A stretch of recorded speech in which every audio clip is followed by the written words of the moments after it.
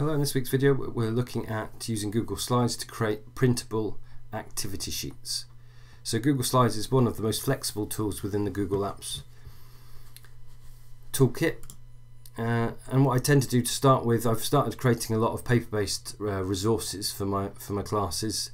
Uh, if you want to do some group work, you're not always in a in a computer room, or students don't always have access to technology. So making activity sheets is a great way to get them involved and engaged. I find what I can I, I tend to use it for is when I'm wanting to present a new topic instead of me just standing at the front and going through a number of different slides.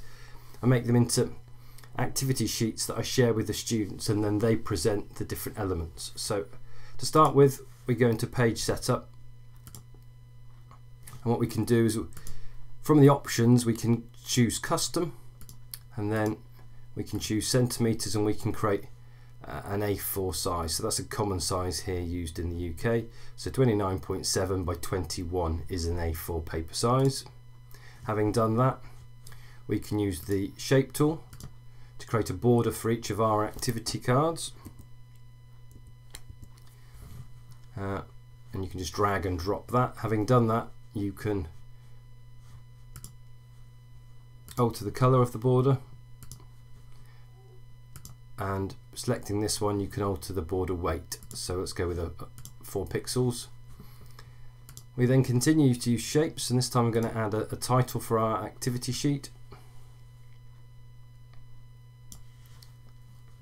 And again we can alter the border and the fill colour in the case of the header.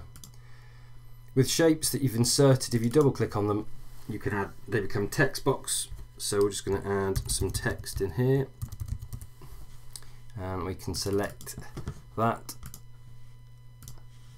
Uh, make it white as white and blue looks good. And let's say 24 point uh, maybe a little bit bigger. Let's go with 48 point.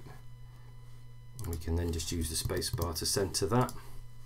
And then we can add a final shape. And that may be our activity description there so again, double clicking on it, we could add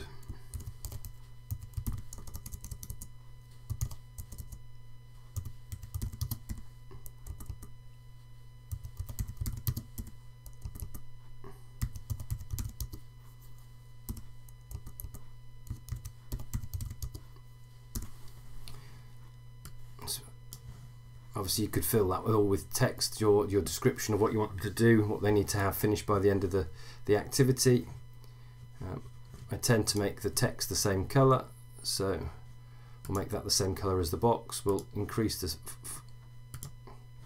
text size. And you'd have your different stages and what you want them to do listed there.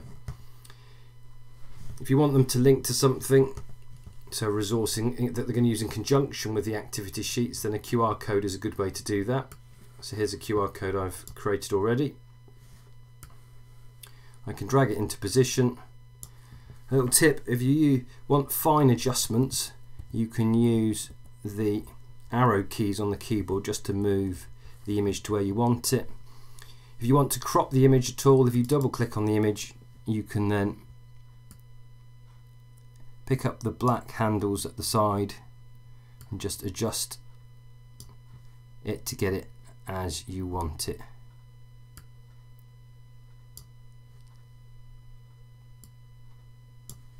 Being careful not to pick up the blue uh, handles otherwise that will move the image within the box. So I'm happy with that.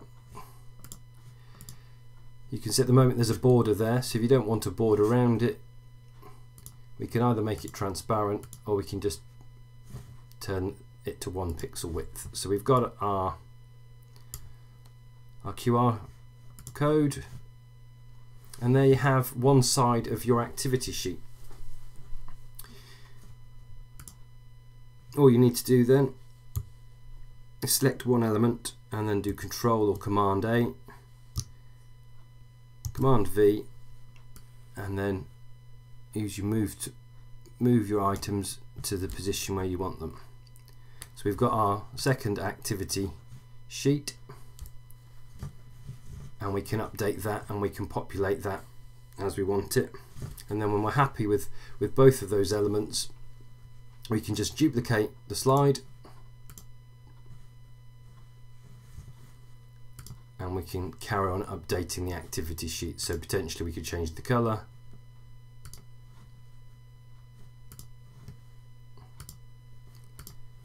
On each of the components. And away we go. So very quickly and very easily you've got yourself a a set of activity sheets that you can then print out, cut down the middle and hand them to your students. If you're printing double-sided you could also have information on both sides of the cards. So slide 1 would be the top and slide 2 would be the bottom. So it's possible to do that as well. So they have a very quick way of creating activity cards. When it comes to printing them